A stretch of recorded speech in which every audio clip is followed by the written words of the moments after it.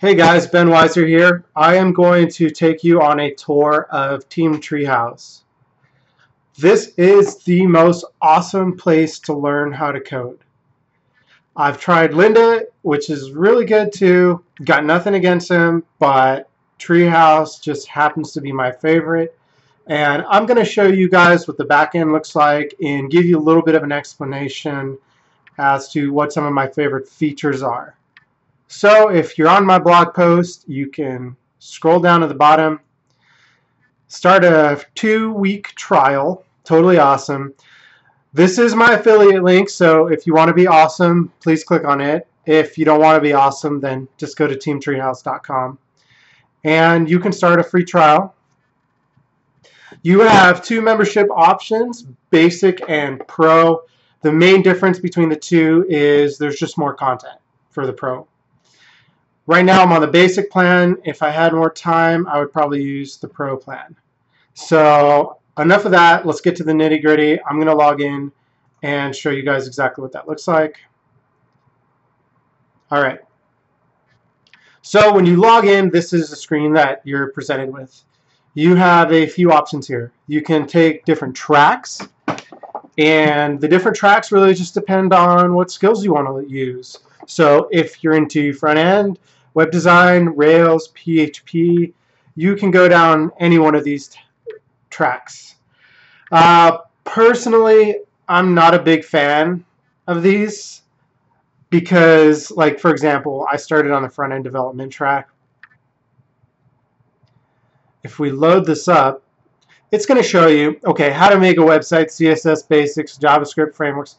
It kind of gives you a rundown of how the different course flow goes. So most of this stuff is way too basic for me. I don't want to be on the front end web development track learning basic HTML when I've already got it down pat. Now, it might be good to review, but me personally, I find these tracks too limiting and too constraining. And I just kind of want to learn what I want to learn on my own terms. So for that, the library is great. Um, I spend a lot of time in the WordPress courses and the JavaScript courses. So you can see what they have here for the WordPress courses. Um, here's the PHP for WordPress course, which is awesome if you want to know how to do amazing things in the back end of WordPress. And maybe you're not interested in going super deep into PHP, but you just want to know enough to make the changes that you need to your functions file. PHP for WordPress is great for that. Uh, they've got the settings API, actions and filters. These are all things that you need to know if you want to build custom themes. So say you have a client site or say you want to sell your themes on your own website. You need to know this stuff and you need to understand how these things work. Treehouse does an insanely good job of explaining these sort of things. So if we look at the uh, Settings API course,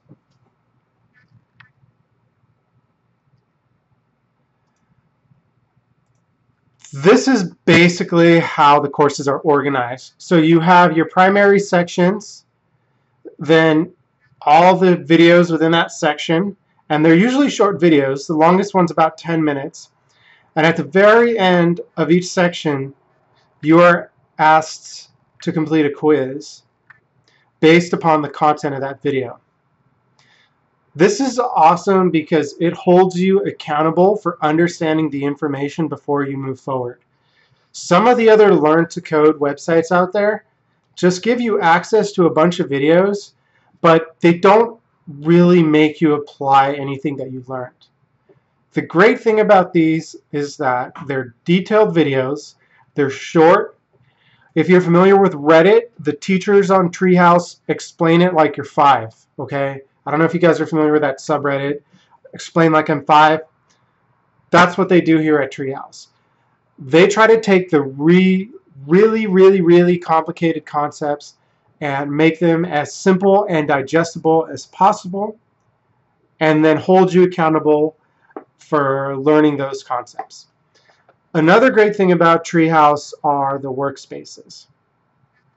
So let's say that we wanted to do, uh, let's see here, let's try interactive web pages with JavaScript. So this is actually a course that teaches you how to build a to-do list using JavaScript. Let's see if I can pull up the workspaces here. Okay, so the video is automatically going to start. Um, and on each video,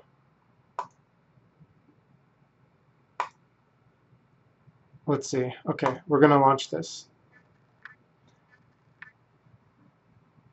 On each video that supports workspaces, you'll be able to pull up this code editor. You can see their syntax highlighting. You can save, upload files. You can even create new files and new folders. And what this does is it acts as a text editor right there in your web browser. So you don't have to worry about downloading a text editor, getting your server configured, getting things set up. You don't have to worry about any of that. It's all right here in your web browser. Now I typically use Sublime Text when I'm completing these exercises but in the beginning, before I downloaded Sublime and learned how to use it and learned about all the different packages, this was really, really easy to use. And you can even click preview. Oh, there's my alert. And it's going to show you the results of whatever code that you type in here. So here I have an alert box that says, thanks for visiting. Now I can say, hello people watching my video. Control S to save it. Preview. Welcome to my site. Thanks for visiting. Okay, let's try this one more time. Hello people watching my video, and there's my prompt. Now, if you know JavaScript already, that's probably not very impressive. Even if you don't know JavaScript, that's still probably not very impressive. But I just want to show you guys what it looks like to edit in this code editor and then have something appear on the front end. So we've got the form. Oh, by the way, I haven't taken any of the mobile app development or Rails courses yet. I have taken a lot of the PHP and WordPress courses, which are totally awesome. There's a few good design courses. To be honest, I wasn't too impressed with the UX course. Um, as for JavaScript, there are some pretty good courses, but I do find it's lacking when it comes to explaining certain advanced concepts, things like prototypes. I can't really comment too much on Android or Python. The business course has lots of good stuff. There are a lot of really, really smart people who've run web design agencies in the past that can give you some insights into either finding a career in web design or just how to do client work and how to deal with that. Okay, back to what I mentioned before. There is the form. And the form is really just a place to ask questions. So you can see a lot of these don't have very many answers. Um, most of them have one, two, three answers if there is somebody that's responding to them. It's not really a place for making conversation. And that's one of the things that I find is pretty lacking about Treehouse. I would like for there to be somewhere that people can communicate, uh, sort of like a Slack group or a live chat, where you can get more detailed answers from other Treehouse users in real time. The current form feels sort of impersonal, I mean, you do get answers, but I find it better to go somewhere like Stack Overflow to get an answer, or Quora, or the WordPress forums. I just I feel there's something very impersonal about this format of question answer question answer. It doesn't really foster communication and bonding within the Treehouse community. So that's something I'd like to see changed in the future. One of the coolest things about Treehouse are the badges. Now, you might not think much about this. These are basically internet high five points. These are kudos for completing the different courses. Do they mean anything in the real world? No, of course not. But it offers some kind of super unexplainable, totally awesome psychological benefit to earning these things. Like every time I earn a badge, I feel like I'm eating an, a cookie. Like I feel like someone just gave me a cookie, and it's awesome. Like they put a lot of thought into these badges and this system of racking up points. So you almost want to take new courses and learn new things just to get more badges. They're kind of like beanie babies, but you just can't really sell them for anything. I love the way the system works. It is a beautiful motivator for you to keep going. Um, let's just go back to the library and I want to show you guys a few more um, a few more examples of what's available in some of these courses. So if you're into like workflow optimization, you can learn things like Scrum, Grunt, Git. Um, there's even a course on Gulp. If these things sound weird and foreign to you, don't worry. They break it down for you very, very well. Um, moving back to the library,